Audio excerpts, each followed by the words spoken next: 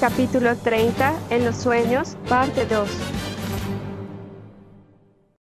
Capítulo 30, En los sueños, parte 2. Si había un lugar en el mundo que Ash Ketchum no le gustaba visitar, era el hospital.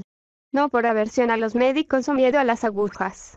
Aunque Gary todavía me debe por no derramar esos frijoles, pensó mientras estaba sentado en la oficina, esperando que el médico en la oficina pequeña pero local de Pueblo Paleta lo viera. La habitación olía limpio, pero no a la limpieza natural a la que estaba acostumbrado Ash que podía oler afuera. Era una limpieza empalagosa que le recordaba a Ash el olor a químicos y desinfectantes.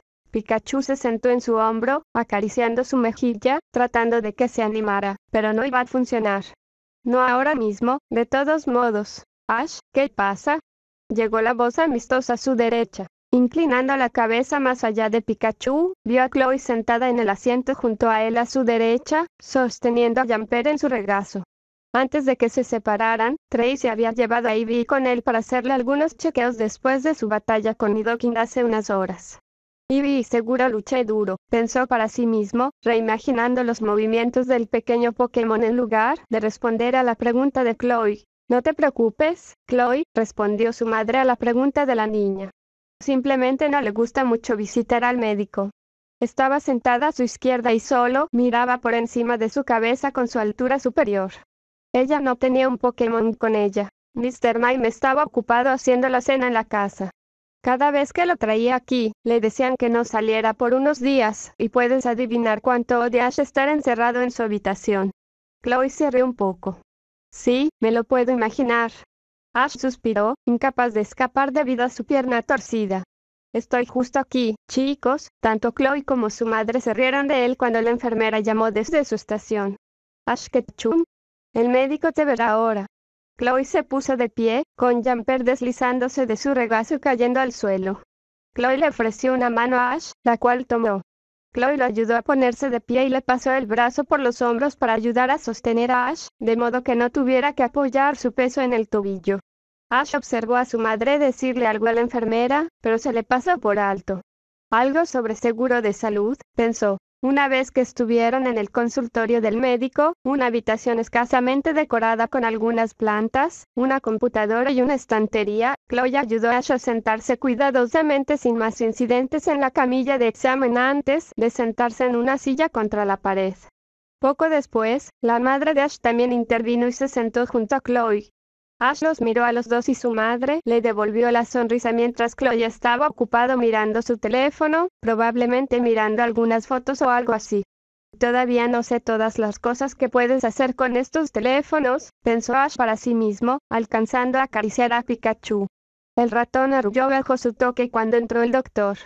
Era un hombre que se estaba quedando calvo y que según Ash tenía entre 50 y 60 años. Su cabello era de color gris sal y pimienta y su rostro tenía una expresión seria.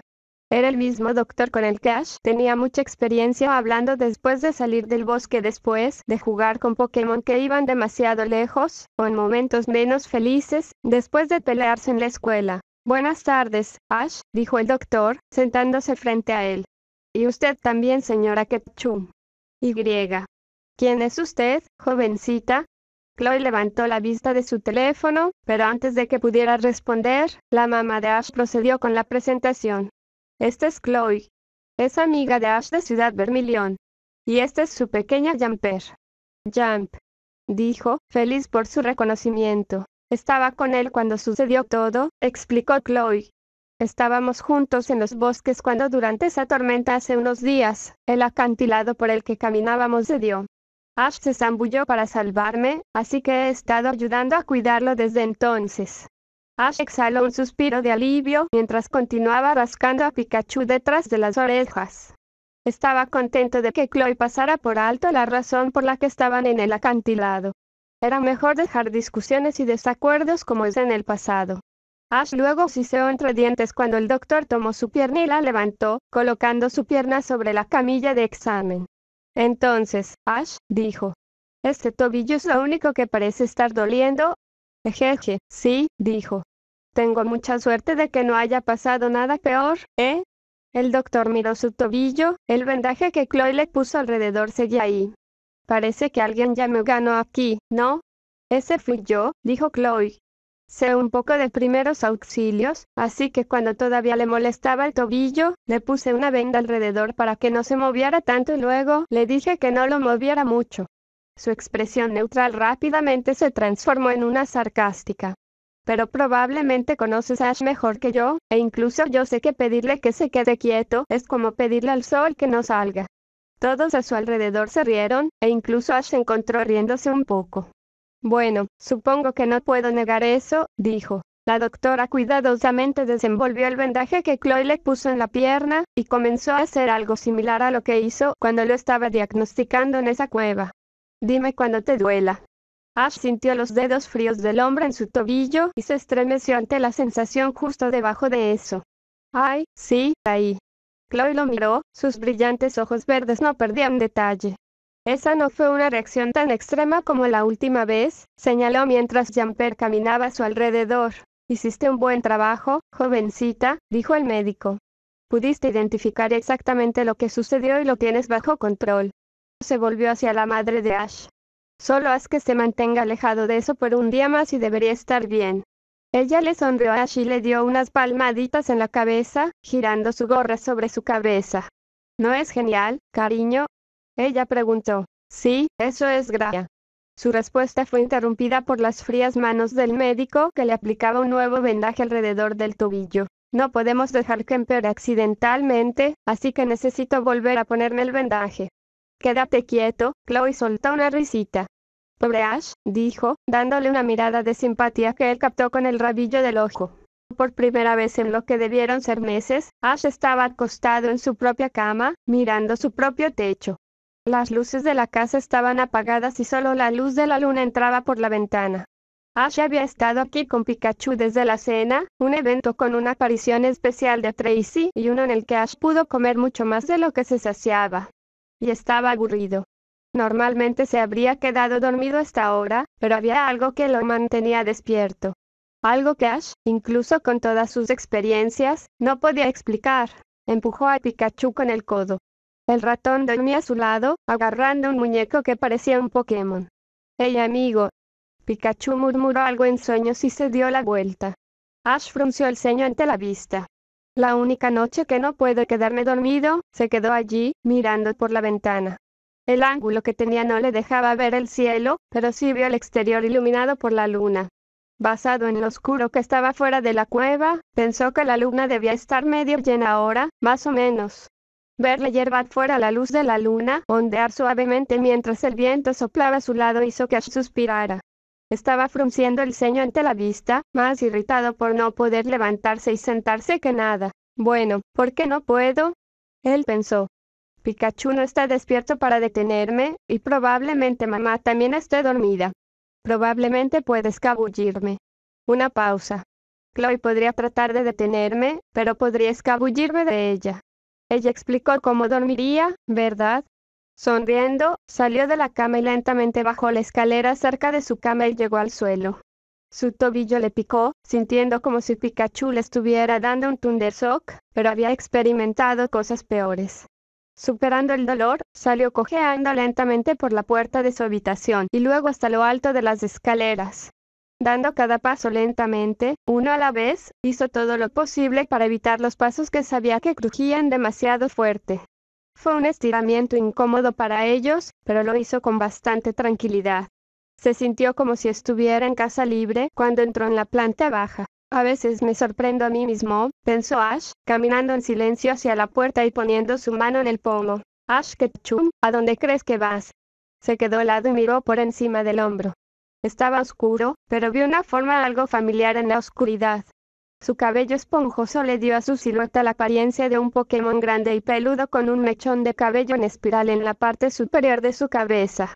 Pero si comparaba a Chloe con un Pokémon peludo, ella podría obligarlo a subir las escaleras, y él no soportó el dolor en el tobillo para detenerlo aquí. Oh, uh, hola, las palabras salieron cuando su cerebro comenzó a pensar rápidamente en un plan.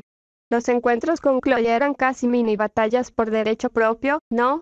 Era difícil predecir cómo reaccionaré ante las cosas. El mejor curso de acción sería planificar una estrategia. La mejor defensa es un buen ataque, así que debería ser yo quien dé el primer paso. giró el pomo de la puerta y abrió la puerta. ¿Quieres escabullirte conmigo? Él susurró. La sombra que era Chloe retrocedió sorprendida.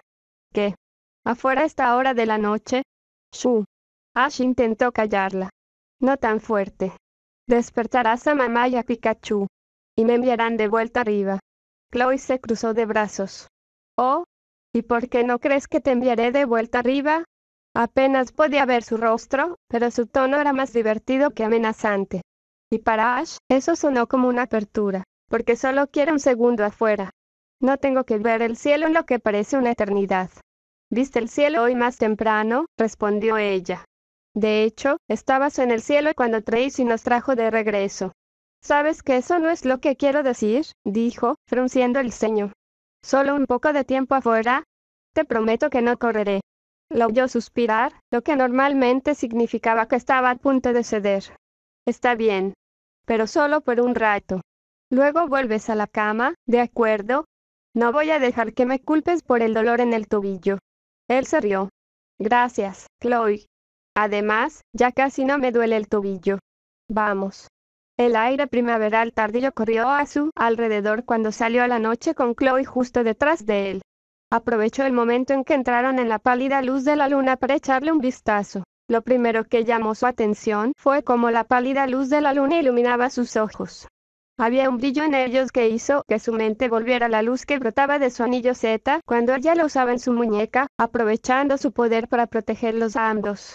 Su piel pálida por las horas que pasaba dentro estudiando tenía un brillo extraño, y Ash se hizo a un lado y la dejó pasar. Su largo cabello caía en cascada por su espalda, no salvaje y encrespado como lo había visto en la cueva esa mañana, sino suelto y relajado. Su cabello se veía suave, casi como un plumón esponjoso de Whimsicott, pero resistió el impulso de tocarlo. Chloe dio unos pasos y miró la casa en la oscuridad. Se siente muy bien aquí, ¿no? Llevaba su pijama largo, el mismo que usó en la granja de Laxton y en su viaje de campamento. Asha sintió, reenfocando sus pensamientos. Sí. Me encantan las noches geniales como esta. A veces termino quedándome despierto toda la noche con mis amigos y solo hablando, ¿sabes? Chloe le sonrió. Bueno, supongo que tendrían mucho de qué hablar después de un día de viaje, ¿verdad? Hablando de las cosas que ven o de las personas que han conocido, sí, dijo Ash, mirando las estrellas. Los cielos alrededor de Pueblo Paleta siempre estaban llenos de estrellas, y él prefería verlas a ver los cielos oscuros sobre Vermilion. Clemont le había contado por qué los cielos estaban tan oscuros una vez, llamándolo contaminación lumínica, por lo que entendió por qué la ciudad tendría un cielo menos interesante que su ciudad natal.